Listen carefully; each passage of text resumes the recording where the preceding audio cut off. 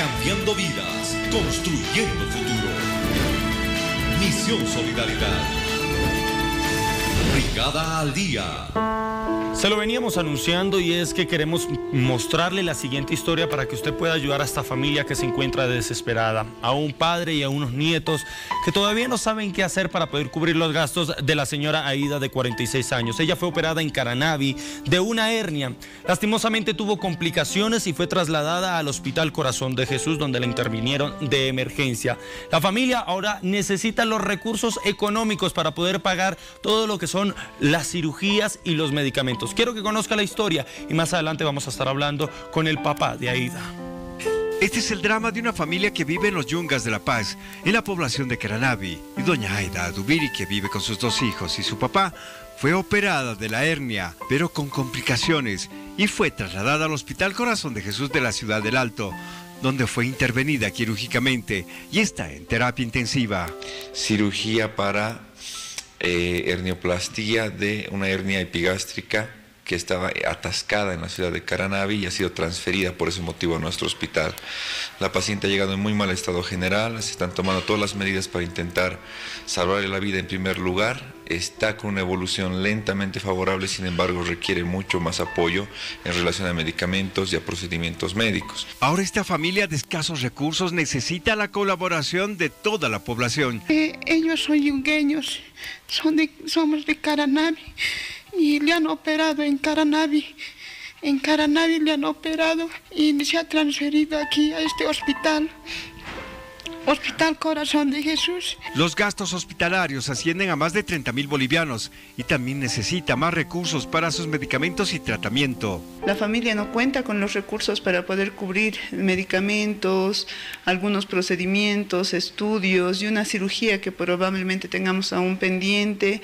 Eh, la cuenta hospitalaria ya ha sumado más de 30 mil bolivianos. Asimismo, uno de los hijos de doña Aida se fracturó el brazo. El papá de doña Aida es de la tercera edad y vive en el monte de los Yungas, también apela al gran corazón de toda la población para ayudar a su hija. Me han avisado noticia mala y esa noche mismo yo me he hecho posible de venir hasta aquí sin ropa, sin nada, con una suma que estamos sufriendo. Eso es lo que a mí me amarga bastante. No pensaba nunca que iba a llegar a ese caso, mi hija. Cualquier colaboración será muy bien recibida por esta familia y pueden llamar al celular 788-70318. Usted ya conoció la historia de la señora Aida de 46 años y aquí es donde usted va a jugar un papel muy importante porque junto a mí se encuentra el señor Dionisio Adubiri, que es el papá de Aida y también se encuentra el, Kevin y Juan Carlos, sus nietos, los hijos de la señora Aida.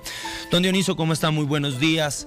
Se necesita dinero para poder cubrir los medicamentos. ¿Qué le han dicho los doctores? si, si pagas toda esa suma, el retiro ya puede retirar. Ahora, antes no, eso es lo que ayer me ha sorprendido el doctor ya. ¿Aproximadamente cuánto es lo que se necesita? Total, siempre él se ha sumado 34. Ahora yo quisiera por lo menos unos 30. Por, por favor, pues sálvenme esa historia. Estamos hablando de 34 mil bolivianos, que es lo que necesita aproximadamente la señora Aida. Aparte, sabemos que la recuperación, como lo decía el doctor, va lenta, por ende va a necesitar medicamentos, va a necesitar tratamientos y eso va a ir sumando poco a poco. Es por eso que es más el dinero que se necesita. Por ahora, la prioridad es conseguir los 34 mil bolivianos para poder eh, ayudar a la señora Aida. Son dos hijos que tiene. Tenemos a Kevin y a Juan Carlos. Don Dioniso, ¿a qué se dedica la señora Aida? Es simplemente el trabajo es pues, este hornaleando nomás siempre, ayudando a otras personas, con eso se ha mantenido este último, yo también como ya he recogido mi renta, con eso más, así hemos vivido allá. Bueno, y justamente uno de, los niños, exactamente Juan Carlos, eh, tiene el bracito fracturado, se está recuperando favorablemente. ¿Qué le han dicho los médicos también? Pues bueno, en acá ya no, más bien ya, lo que ha curado, eso, con eso nomás siempre está, entonces más bien tranquilo ya está él. ¿Usted a qué se dedica, don Dionisio? Yo no, ya no trabajo siempre, nada, solamente esa renta a mí me salva, con eso nada más siempre yo vivo. ¿Cómo se mantiene en el día a día tanto usted, cómo se mantenía la señora Ida, cómo consiguen la alimentación? ¿Los niños van al colegio? Sí, van, los dos están. Ahora, ese permiso ya más bien me han entendido el profesor. ¿Usted cuenta con algún otro tipo de familia, primos, tíos, hermanos? Hermano, ahora ese es el que más ha movilizado para subirme a CAPS de coronavirus. Hermano. ¿Cómo, ¿Cómo consigue usted la alimentación? Bueno, eso tranquilo nomás estamos viviendo también, eso de alimentación. La familia le está ayudando un poco, ¿verdad? El hermano nos cuenta que le está ayudando. Ustedes están conociendo la historia de la señora Aida, de 46 años. Lastimosamente ella sufrió de una hernia, fue complicada y necesita de 34 mil bolivianos. Ustedes tienen en pie de pantalla el número de cuenta. Si ustedes quieren contactarse con esta familia para saber cómo pueden ayudar, tienen que comunicarse al 788-70-318. Lo repito, 788-70-318. Ahí se van a comunicar directamente con la familia para que ustedes puedan saber qué es lo que necesitan, qué medicamentos, qué de pronto otro tipo de tratamiento necesita para que ustedes puedan colaborarle. La vida de esta señora está en sus manos, en las manos donde usted puede ir a colaborar, ir al banco y depositar todo el dinero que puede depositar. No lo dude, vamos a ayudar a esta familia que tanto lo necesita. Tiene dos niños que necesitan a su mamá al lado para cuidarlos para protegerlos. Son niños que están tristes, que están aburridos porque saben en la situación en la que se encuentra su mamá. Está postrada en una cama.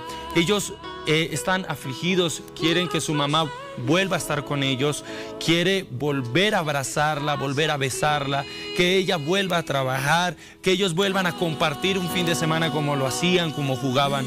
Por favor, la vida de esta mujer está en sus manos, es solo colaborar, es solo ponerse la mano en el corazón y la otra mano en el bolsillo e ir a depositar el dinero que usted pueda colaborar. Tiene 10 bolivianos, hágalo. Tiene 5 bolivianos, hágalo. No le estamos pidiendo que pague toda la cuenta. Ya sabe, confiamos en la solidaridad y en el buen corazón que usted tiene. ¿Por qué? Porque nosotros estamos cambiando vidas, construyendo futuro.